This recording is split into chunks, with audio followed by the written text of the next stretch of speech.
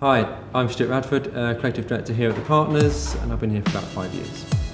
And I'm Suzanne Neal, Account Director, and I've been at The Partners six years.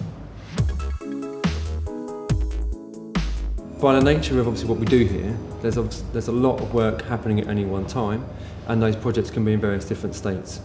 Um, so I think that what we just tried to do, certainly from, from my perspective, is just keep an eye on obviously the, the level of creativity, make sure the team has everything that it needs to do the project that they're currently working on.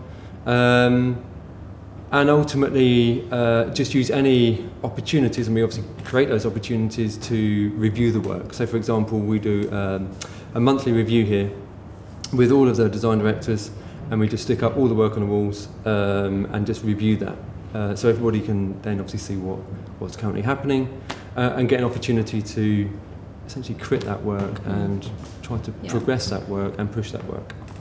I think also as well it's a very relaxed environment on the studio floor. So there's an opportunity for people to constantly be reviewing work and discussing work and inputting on each other's work. So we're driving each other forward all the time to instill that ambition. Uh, so the monthly reviews are across all of the projects um, at whatever state they're at. Uh, so again, it's just really an opportunity for us to affect the work. Mm-hmm because uh, we also do a quarterly review of the work, which is m- more of a retrospective, I'd say. But here, the idea is with the monthlies, is that we can actually influence the work um, as it's happening. Yeah, and I think on individual projects and for individual clients, we obviously regularly catch up on a daily or weekly basis, depending on the size of the project or the client. Um, and also, if it's a long standing client, we may do a six month or, or yearly health check where we get all the work for that client into a room and review what we've done.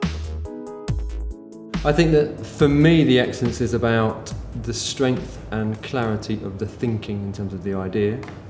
Um, also, again, I guess we strive to make that thinking as unexpected as possible, but mm-hmm. at the same time as relevant as possible. And then the, I guess the other thing that factors into the this idea of excellence for me comes in in then the execution and the craft that we employ in terms of how we execute those ideas. It's a really interesting one in terms we both have different agendas. Yeah. Um, and naturally, actually, there's a conflict between the 2 mm-hmm. agendas. The end goal and end objective is exactly the, the same, same. Yeah, in terms exactly. of doing a brilliant piece of work um, within obviously the commercial parameters that we have. But as I say, then in terms of our actual agendas, they are slightly mm-hmm. different in terms of I'm obviously trying to get the very best for any given project. And I guess what I'm doing there in terms of the whole creative process doesn't always necessarily fit neatly into those blocks of time or budget that we have. Mm. And it's how we it's work together balance, to balancing the two out. out. isn't it?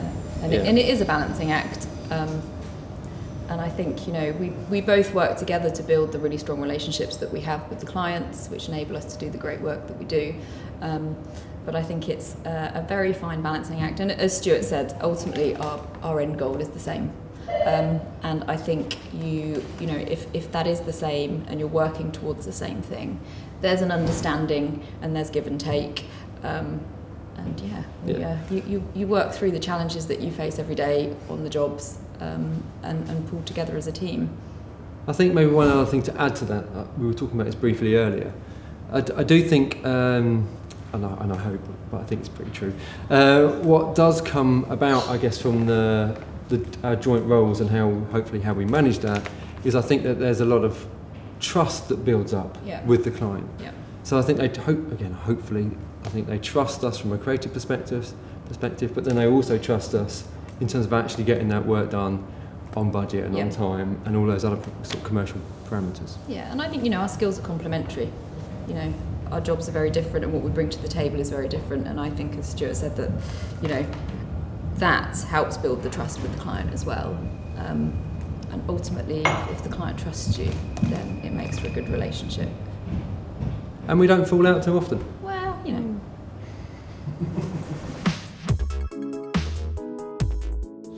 So in, t- in terms of the relationship between strategy and creative, uh, it's one that's in play from the very very beginning. Yeah. So the obviously the idea being that it's not we work I guess differently here from maybe perhaps some other organisations where in another organisation you might as a designer as a creative just be handed over the strategy and then told to get on and uh, you know, bring that to life. Um, here it's very much uh, a again a collaborative process. It's obviously the strategic work is led by the strategy guys. Um, but for example, I've, I've been a party to a number of meetings and processes hmm that is all about the strategy and Yep. all about understanding what the business is all about, uh, where it's been and where it's trying to Mhm. go. Uh, so you kind of carry all of that information with you, which I think is then really important when you do come to that stage where you are working with the strategist to then bring that to life. You've got all of that information to draw from. Yeah. Um, and that helps, I think, be more accurate with your understanding of the, of the strategy and ultimately what Mm. we need to do. And at, at the start of every project, we um, assign a creative lead, a strategic lead, and then um, a client-facing lead. And we work together solidly throughout the whole process, as Stuart said. So we're all there from the kick-off, you know, through the immersion, um, through strategy, through design. We're there all along, and, and we are the face of, of the project for the client. Um, so they always have access to those people and to those disciplines. It's something that we have done quite a bit of. Um, and, and ultimately that's due, I guess, to trying to find the best possible people for, again, whatever idea it is that we have and getting the best, best execution and level of craft we can.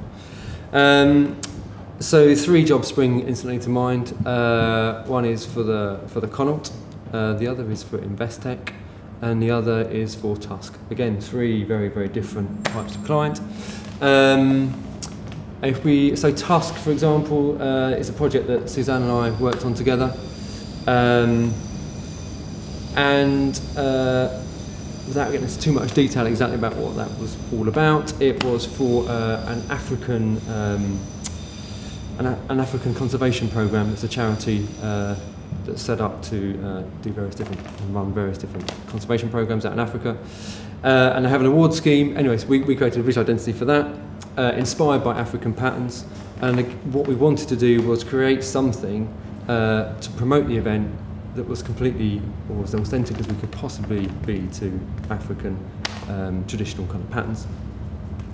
So uh, we came up with this idea uh, that, in theory, is actually quite simple, which is to create a wristband made of uh, made through the traditional beading technique, African beading technique. Um, but obviously, we wanted to have that done out in Africa.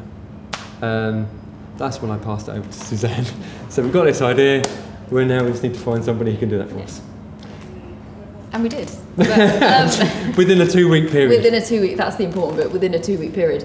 Um, yeah, I think it's just a, a- about casting your net really wide and, and kind of going for it, really. I mean, there's always a solution. Um, and we found a tribe um, and you know, we, we got them beading our pattern um, in a two week period and, and had a number of these wristbands made and, and uh, transported from Africa. Um, I think it was, you know, walking a very long distance, then, uh, you know, on a motorbike, then on a car into the city. And we eventually got these wristbands flown back over, over to London for us in time for the awards. Um, so I think, as Stuart said, it, it's just I suppose just just not having any barriers really, and, and being really open um, to exploring, you know, lots of different suppliers and, and, and other kind of creatives, whether they're round the corner or they're you know across the other side of the world. Um, so yeah, it makes the projects fun, stressful but fun. Yeah, yeah, true.